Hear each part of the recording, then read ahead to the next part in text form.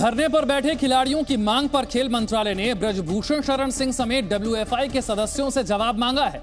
खेल मंत्रालय ने भारतीय कुश्ती संघ के अध्यक्ष सचिव विनोद तोमर को भी सस्पेंड कर दिया। इसके साथ ही खेल मंत्रालय ने डब्ल्यूएफआई पर तमाम प्रतिबंध भी लगाए। खेल मंत्रालय ने डब्ल्यूएफआई के अध्यक्ष ब्रजभूषण शरण सिंह को जाँच पूरी होने तक फेडरेशन से अलग कर दिया है और आदेश जारी किया है कि वो चार हफ्तों तक मीडिया में कोई बयान नहीं देंगे। जैसा मैंने कहा कि चार हफ्तों में हम इसको करने का काम करेंगे। तो एक कमेटी तब तक दैनिक कार्यकलाप को देखेगी डे टू डे वर्किंग को, और तब तक भारतीय कुश्ती संघ के अध्यक्ष श्री ब्रिज भूषण जी, वो अपने आप को स्टेप असाइड करेंगे, दैनिक कार्यकलाप से अलग रखेंगे। खेल मंत्रालय का दावा है कि चार हफ़्ते के भीतर जाँच पूरी कर ली जाएगी। पहलवानों और ब्रजभूषण शरण सिंह के बीच चल रहे विवाद में अब युवा पहलवानों का भविष्य भी फंस गया।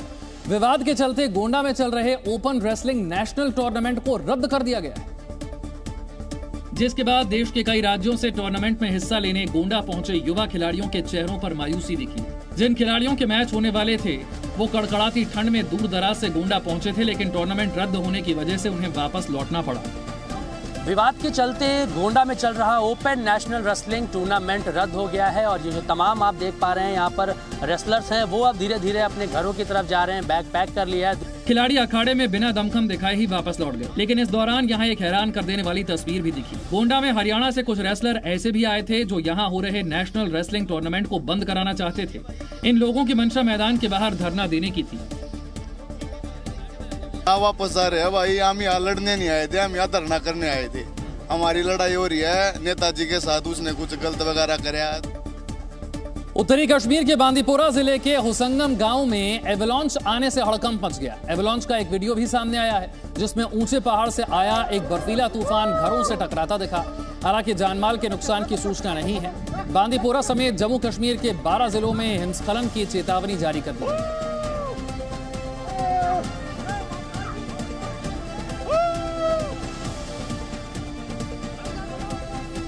मौसम में थोड़ा सुधार आने के बाद उत्तराखंड के जोशीमठ में असुरक्षित इमारतों को गिराने का काम एक बार फिर से शुरू कर दिया गया है।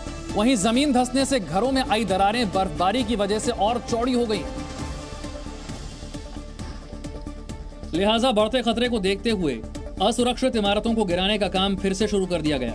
बारिश और बर्फबारी के बाद मलारी इन और माउंट व्यू होटल को तोड़ने का काम बंद कर दिया गया था। एक बार फिर मजदूर इन असुरक्षित भवनों पर कटर चलाते दिखे। मलारी इन और माउंट व्यू को ध्वस्त करने में ड्रिलिंग मशीन और बुलडोजर लगा दिए गए। मौसम की मार के बीच जोशीमठ में दरार वाले भवनों की संख्या लगातार बढ़ रही है। दरार वाली इमारतों की संख्या बढ़कर आठ सौ उनचास हो गई है, जबकि अब तक दो सौ उनहत्तर परिवारों को अस्थायी राहत केंद्रों में पहुँचाया जा चुका है।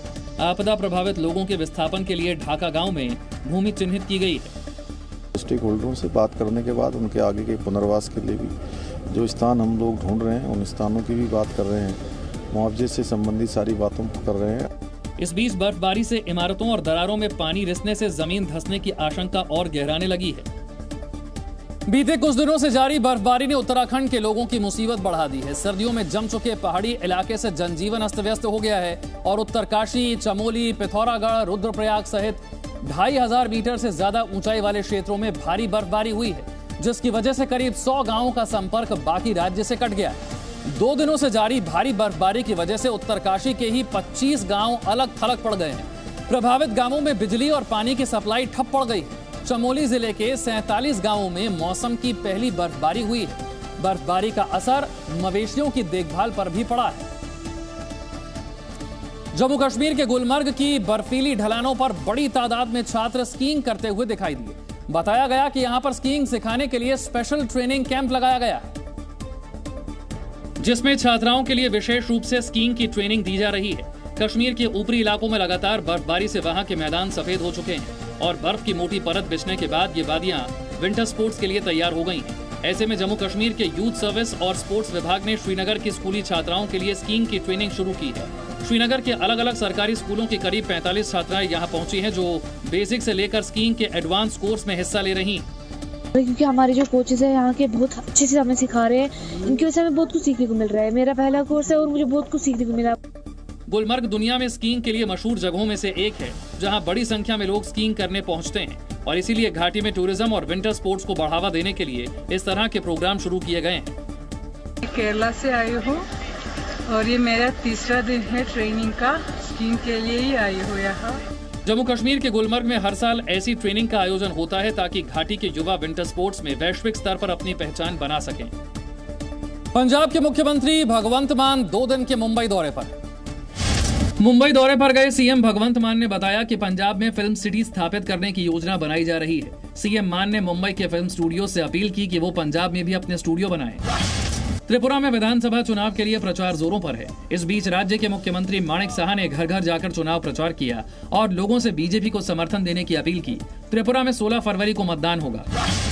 महाराष्ट्र के पुणे में सकल हिंदू समाज ने हिंदू जन आक्रोश रैली निकाली। इस दौरान उन्होंने गौहत्या लव जिहाद और धर्मांतरण के खिलाफ कानून की मांग की। राजस्थान के भरतपुर में टोल न देने पर हुए विवाद के बाद दबंगों ने टोल बूथ पर फायरिंग कर दी। बदमाशों ने तोड़फोड़ करते हुए टोल कर्मियों की जमकर पिटाई की। इसमें तीन लोग घायल हो गए जिसमें से एक की हालत गंभीर बनी हुई है। लोकसभा चुनाव में भले ही अभी वक्त है लेकिन बीजेपी ने चुनाव की तैयारियाँ शुरू कर दी। लखनऊ में बीजेपी प्रदेश कार्य समिति की बैठक हुई जिसमें लोकसभा चुनाव की तैयारियों पर मंथन किया गया। और दिन भर चली बैठक में कमज़ोर बूथ को मज़बूत करने पर चर्चा हुई। पिछली बार यूपी में जो लोकसभा सीटें बीजेपी हारी थी, उन्हें कैसे मज़बूत किया जाए, इसके लिए बैठक में प्लानिंग हुई। बैठक में निकाय चुनाव से लेकर लोकसभा चुनाव की तैयारियों का ब्लूप्रिंट भी तैयार किया गया। प्रधानमंत्री मोदी जी के नेतृत्व में, उनके मार्गदर्शन में,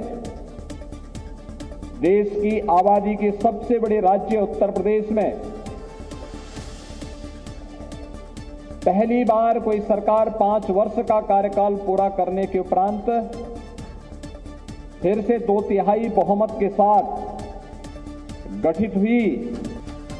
प्रदेश कार्य समिति की बैठक से सीएम योगी ने 2024 में बीजेपी की जीत का शंखनाद किया। इस दौरान सीएम योगी पूरे उत्साह में दिखे। विजेता के रूप में कार्य कैसे होना चाहिए? कि भारतीय जनता पार्टी बहुत अच्छी तरीके से जानती है और करती है? सीएम योगी ने दावा किया कि यूपी में दोबारा बीजेपी की सरकार बनेगी, उपचुनाव भी जीते और अब लोकसभा चुनाव में भी बीजेपी भारी बहुमत से जीतेगी।